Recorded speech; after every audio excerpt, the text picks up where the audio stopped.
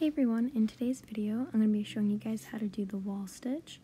This is a 3 by one straight stitch. This is just some examples of what it looks like.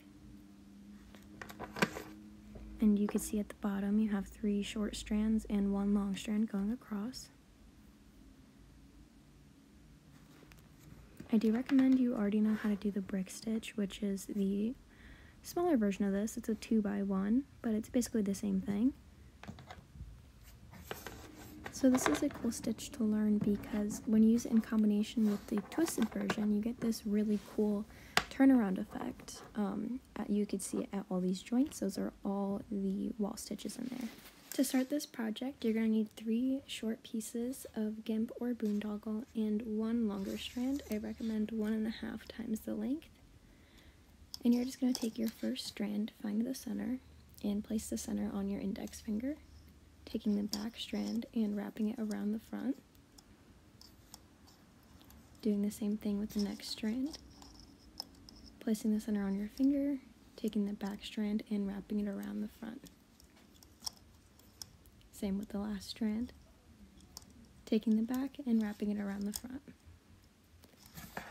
On your finger, you should have tail loop, tail loop, tail loop in the front and in the back.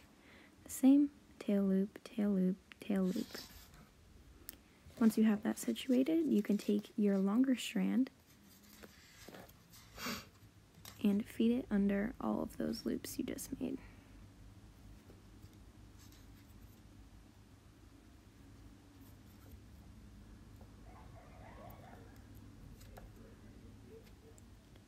And you're just going to want to pull this until you find the center, and that will be under your middle strand. We're taking our long strand from the right side and we're going um, working back to front. So we're going over the tail and under the loop, and then over the tail and under the loop, feeding that all the way through. If you have any tangles, just flip it and keep that strand in the back. So you see our tails on the end are locked in. And then we're going to take the front strand on the left side, keeping this in the front, going across over the tail and under the over the tail and under the loop.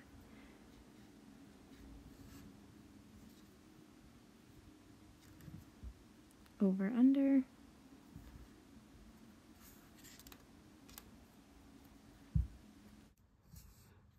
over under and pulling it all the way through. So see how our tails on the end are locked in. I mean, we're ready to take this off our finger. So you're just gonna loosen your tension. And then keeping the strands on their side, pulling tight. And there you have your base.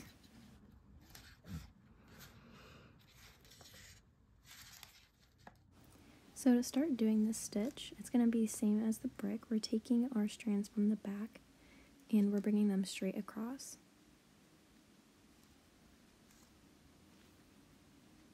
And then we're taking our long or white strand from the left side and bringing that straight across. And it is the closest to the green one we just brought over. Then we're bringing the rest of our strands going in between, straight across.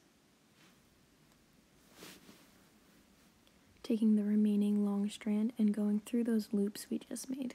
Just gonna make them a little bigger so it's easier. Pull that straight through. And then you can pull tight.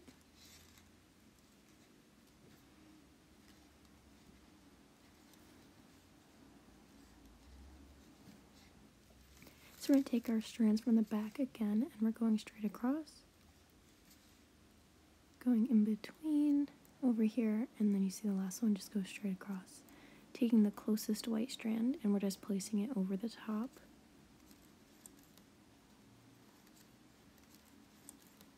Taking the other short strands, and we're going straight across. So you see they go in between straight, and then the last one just goes straight over.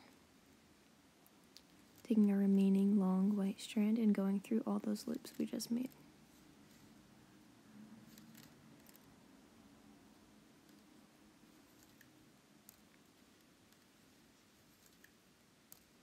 And we're just going to pull tight. You see the tails are locked in by the loops.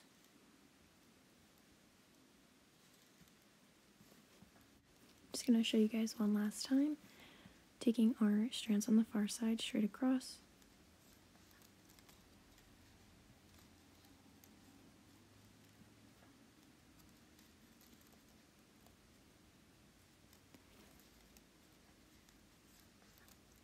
Then the closest long strand, taking that and going straight across.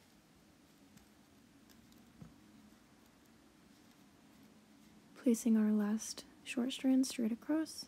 Once you get good at it, you can just do them all at the same time, like this. And then taking our long strand and going straight across through those loops we just made. And just pulling the project tight.